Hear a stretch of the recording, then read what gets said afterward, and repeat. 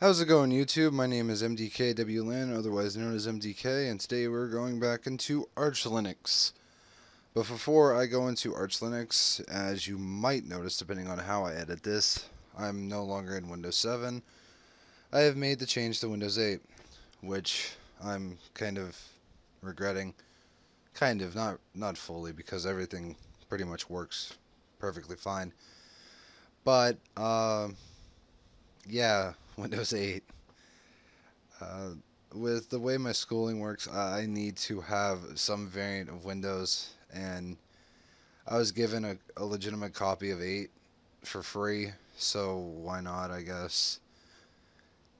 It's alright. Uh, I'll do a full video on my uh, opinions about 8 and the poor decisions of 8, but it's pretty much just like what everybody else has said about 8, but yeah. So, Arch Linux made a wonderful, wonderful change to their system, and which is kind of a pun, but not really. Um, systemd has been updated, and yeah, it's now really messy. So, systemd is now moving away from the old Unix way. I believe it's the Unix way of naming attached devices. So normally, if you have a NIC, which pretty much everything does now, uh, it would assign a naming scheme. And the naming scheme that we're all used to is, is like ETH0 or ETH0, 1, 2, or 3, depending on how many NICs you have, or the wireless interface of WLAN 0, and there's, there's another one too. I think it's like a ATH 0. I only ever see that occasionally. But yeah, systemd is moving away from that.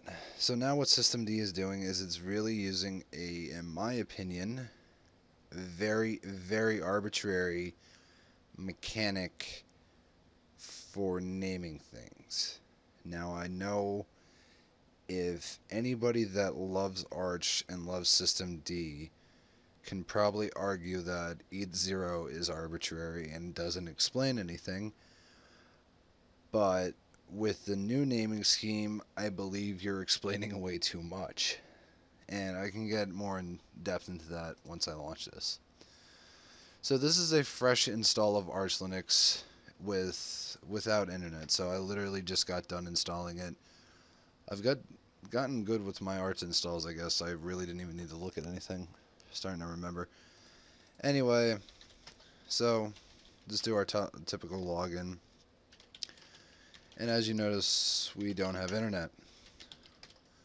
So, normally my first re react was system control enable DHCP at ETH0.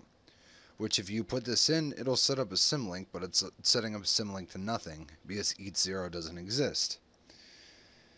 So what this command does is sets up a symlink with your DHCP at dot service, I believe probably wrong, but I believe that's what it does.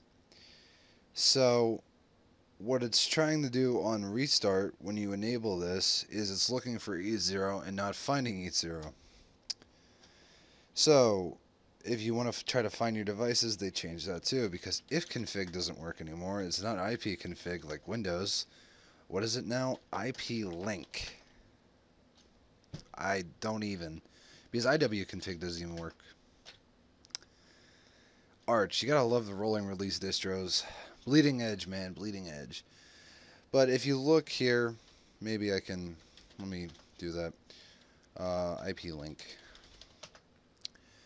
You will see here that the naming scheme for what used to be ETH0, pardon me, my voice cracking, puberty apparently didn't hit years ago.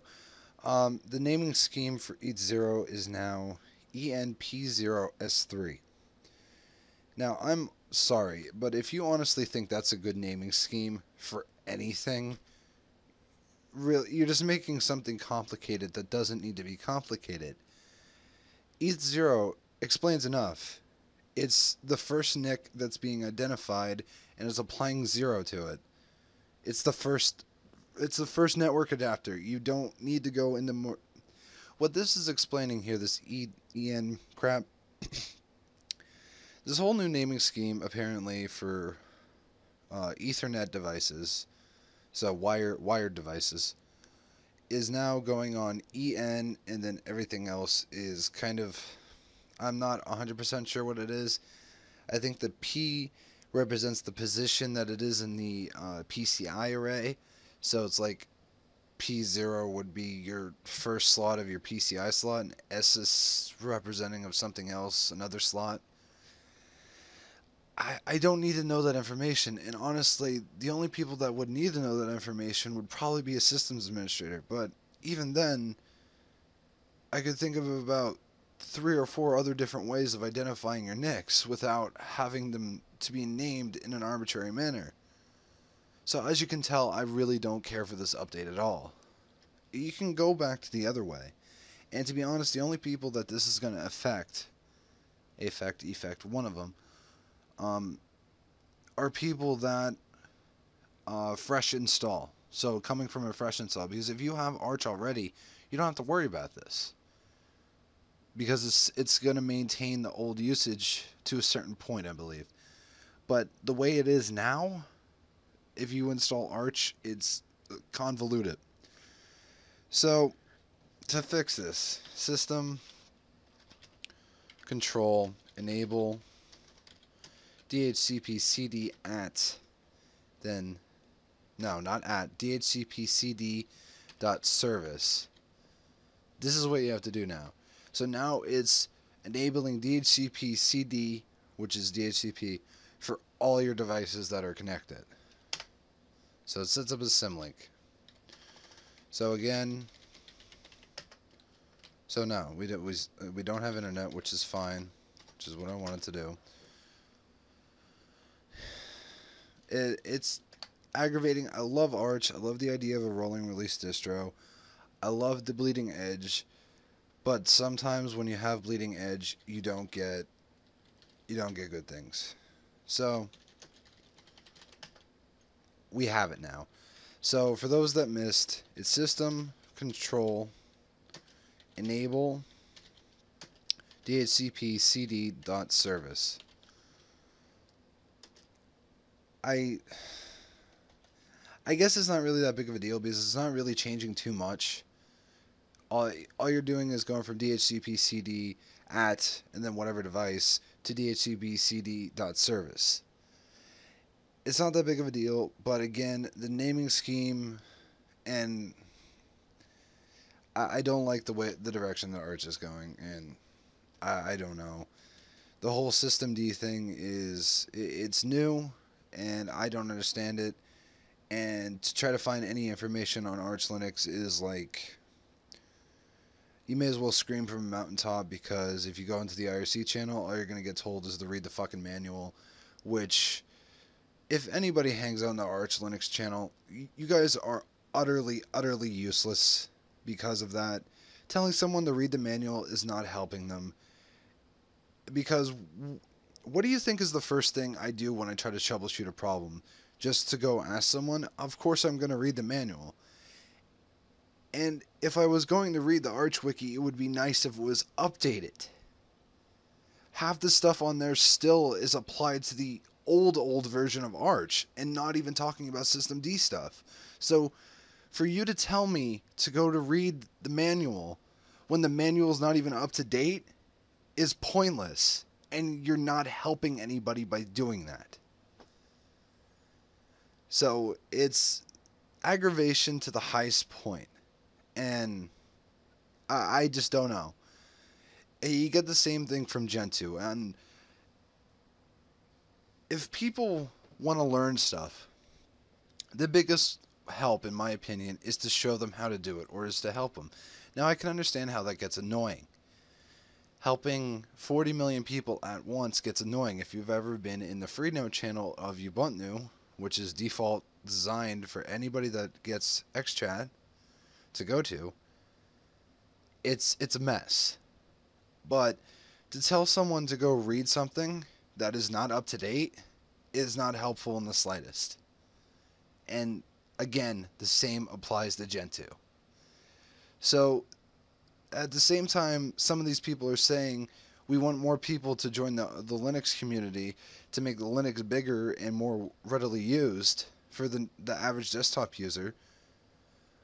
But when the average desktop user comes across a problem, which they're going to happen because people have problems on Windows all the time, what are you going to do? Just tell them to go read a manual?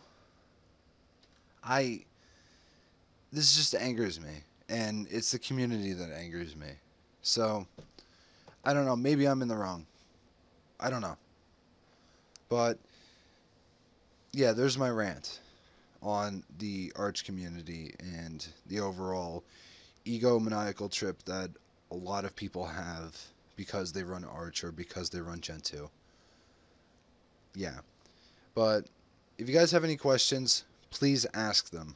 That's why I made this YouTube channel was to help people understand different aspects of Linux. Different distros of Linux, not just Ubuntu, not just Fedora, not just atypical Linux to delve into more advanced Linuxes, uh, Linuxes, really Linuxes. Oh, sure, I'll wing it. To go into more advanced Linux systems. So Arch, Gentoo. Granted, I'm probably never going to do a video on Gentoo. But still, ask. And I will more than likely answer you.